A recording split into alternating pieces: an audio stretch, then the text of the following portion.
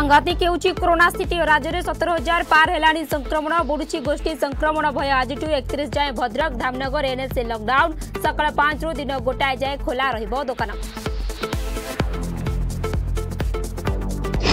ଦେଶରେ ସଙ୍ଗୀନ ହେଉଛି କରୋନା ସ୍ଥିତି ପ୍ରଥମ ଥର ଗୋଟିଏ ଦିନରେ ଚାଳିଶ ହଜାରରୁ ଅଧିକ ପଜିଟିଭ୍ ଚିହ୍ନଟ ଆକ୍ରାନ୍ତଙ୍କ ସଂଖ୍ୟା ଏଗାର ଲକ୍ଷ ପାର ଚବିଶ ଘଣ୍ଟାରେ ମହାରାଷ୍ଟ୍ରରେ ନଅ ହଜାର ପାଞ୍ଚଶହ ଅଠର ନୂଆ କେସ୍ ଦୁଇଶହ ଅଠାବନ ମୃତ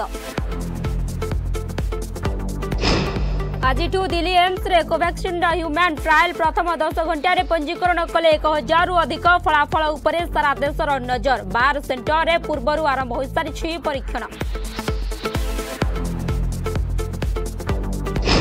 ପଇଁତିରିଶ ବର୍ଷ ପରେ ବଦଳିବ ଆଇନ ଆଜିଠୁ ଦେଶରେ ଲାଗୁ ହେବ ନୂଆ ଗ୍ରାହକ ସୁରକ୍ଷା ଆଇନ ଦୁଇ ହଜାର ଉଣେଇଶ ଆସନ୍ତା ପଚାଶ ବର୍ଷ ପାଇଁ ଗ୍ରାହକଙ୍କ ପାଇଁ ପଡ଼ିବନି କୌଣସି ଆଇନର ଆବଶ୍ୟକତା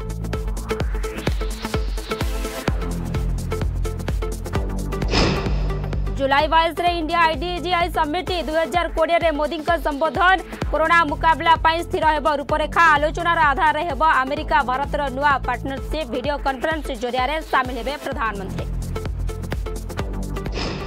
ओडार दस स्वाधीनता संग्रामी को मिल राष्ट्रपति पुरस्कार अगस्ट क्रांति दिवस में दिज्व सम्मान घर को जाए सम्मानित करे जिलापाल कोरोना राष्ट्रपति भवन में हेबनी आयोजन আজি টি ଟ୍ୱେଣ୍ଟି ବିଶ୍ୱକପ୍ ଉପରେ ଆଇସିସି କରିପାରେ ଘୋଷଣା ଦୁଇ ମାସରୁ ଉର୍ଦ୍ଧ୍ୱ ସମୟ ହେବ ଖେଳ କି ନାହିଁ ସେ ନେଇ ଲାଗି ରହିଛି କଳ୍ପନା ଜଳ୍ପନା ଚଳିତ ବର୍ଷ ଅକ୍ଟୋବରରେ ଅଠରରୁ ମ୍ୟାଚ୍ ହେବାକୁ ଥିଲା ଯୋଜନା ଏବଂ ଆଜି ପବିତ୍ର ଚିତାଲାଗି ଅମାବାସ୍ୟା ମହାପ୍ରଭୁଙ୍କୁ ଲାଗିହେବ ରତ୍ନଚିତା ଶ୍ରୀ ଜଗନ୍ନାଥଙ୍କୁ ହୀରା ବଳଭଦ୍ରଙ୍କୁ ନୀଳା ଏବଂ ଦେବୀ ସୁଭଦ୍ରାଙ୍କୁ ଲାଗିହେବ ପାନଚିତା